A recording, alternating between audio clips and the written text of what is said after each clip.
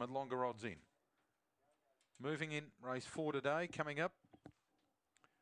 Favourite, bit wobbly late in betting, Santorini Bale ahead of More Boost Rico. Odds are right, evens coming in, and they are set now. Track cleared, ready to go for the fourth race of the day. All in. Green lights on. Racing. And beginning well, Cry Melon Spirit over Santorini Bale. Going out hard, Cooper Summer. Go Go Sky wide out as they jam up.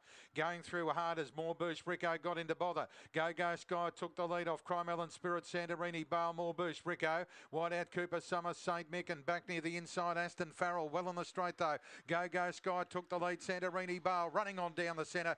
Grabbed the lead and Santorini Bale. Too good has beaten Go Go Sky. Bert Deeds and More Boost. Rico followed by Cooper Summer and then St. Mick Further back would have been at the head of the rest there, Aston Farrell and a fair way back, Crime Ellen Spirit, and the run there 23.69.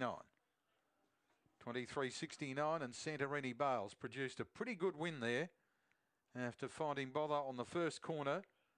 And a first look at the track here, she's rounded up that early leader, Go Go Sky. And even though the time's just average at 23.684, there's a lot to like about her win. 274 fourth number three.